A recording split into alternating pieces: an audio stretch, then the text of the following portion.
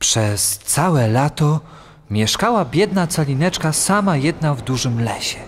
Uplotła sobie łóżko z traw i powiesiła pod wielkim liściem szczawiu, aby deszcz na nią nie padał. Zbierała słodki sok z kwiatów i wypijała rosę. Tak przeszło lato i jesień. Ale oto przyszła zima, mroźna, długa zima. Wszystkie ptaki, które tak pięknie dla niej śpiewały, odleciały. Drzewa i kwiaty zwiędły. Wielki szczawiowy liść, pod którym mieszkała, zwinął się i pozostał tylko żółty, suchy badyl. Calineczka marzła straszliwie, bo jej sukienki podarły się, a ona sama była taka delikatna i taka mała.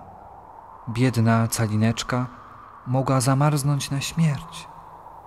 Zaczął padać śnieg i każdy płatek śniegu, który na nią padał, był tym, czym dla nas cała łopata śniegu, bo my jesteśmy duzi, a ona miała tylko cal długości.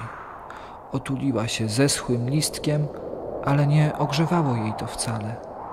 Drżała z zimna. Doszła wreszcie do mieszkania polnej myszki.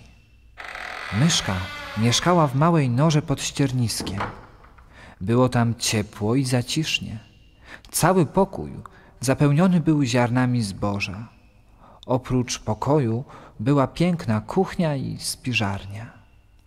Biedna calineczka stanęła w drzwiach jak mała żebraczka i poprosiła o maleńkie ziarenko jęczmienia, bo od dwóch dni nic nie miała w ustach. Moje ty biedne stworzonko, Powiedziała polna mysz, bo w gruncie rzeczy była to dobra, stara mysz.